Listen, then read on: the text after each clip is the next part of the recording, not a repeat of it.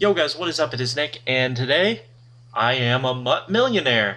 Whoopee! So I was able to get 1 million coins. Uh, I think 850,000 is the last time you saw my coin total. I was able to um, open up, I opened up 7 packs with coins. I don't know why. It was stupid, but I did pull a DeSean Jackson, which I sold for 25,000 coins. Uh, I pulled Brandon Browner, which I sold for 8 Dont'a Hightower, which I sold for 10, and I sold the Elite.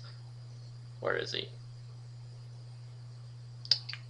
I pulled the Elite uh, Derrick Johnson, the middle linebacker for the Chiefs, and sold him for 33,750 coins.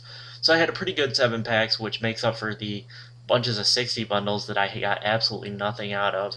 Uh, I got, I think I pulled two 60 bundles that got no elites, uh, so it makes up for that.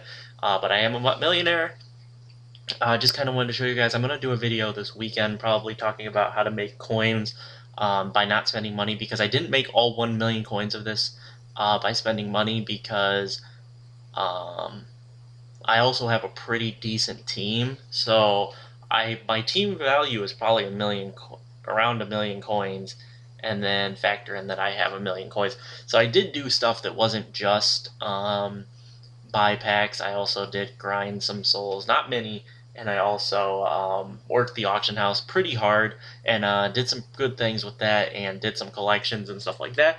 So look forward to that video. What just sold? Alright, the Dwight Freeney for 13k. Alright, so I'm to go up to 120. Oh, another thing just sold. We're going up in coins during the video. I mean, look at this. We're, we're going up in video, up in coins. We're all the way up to 124k.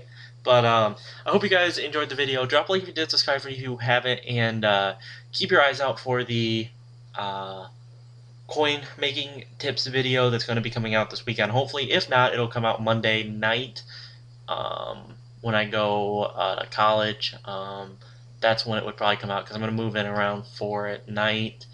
And then probably have the whole night to just sit down and play some MUT. Uh, so I hope you guys enjoyed, and I'll catch you all in my next video. Peace out, guys.